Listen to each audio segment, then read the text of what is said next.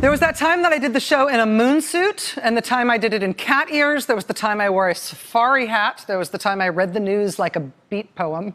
there was the time my highlighter turned into a lightsaber.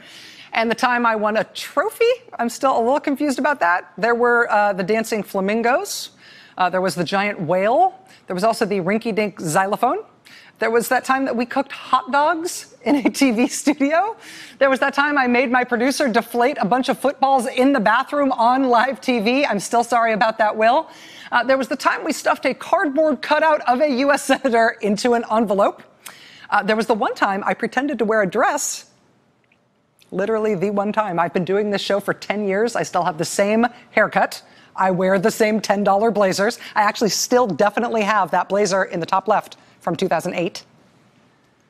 I'm telling you this because tomorrow is the 10 year anniversary of this show, which means we're really freaking old. I mean, in cable news years, we're like a thousand. We're like great Uncle Pete, who's always falling asleep in the Thanksgiving mashed potatoes, right? We are a longfin eel still swimming around New Zealand, ready to embark on the next phase of its mysterious fish life after the age of 100 this show has had a kind of nine lives effect over the years. There was a big period of time when the top stories in the show were almost always about the Tea Party or, or healthcare or voting rights.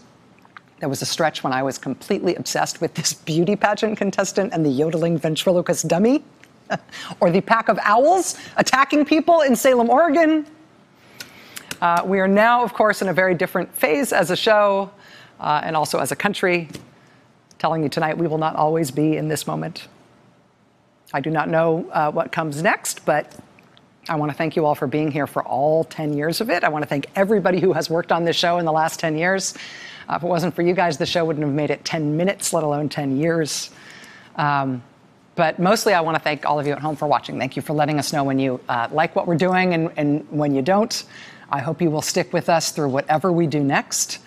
Um, my executive producer now wants me to promise you that I will get some new blazers, but I'm not going to. Uh, and I probably also will not get a new haircut. 10 years. That does it for us tonight. We'll see you again on Monday. Hey there, I'm Chris Hayes from MSNBC. Thanks for watching MSNBC on YouTube. If you want to keep up to date with the videos we're putting out, you can click subscribe just below me or click over on this list to see lots of other great videos.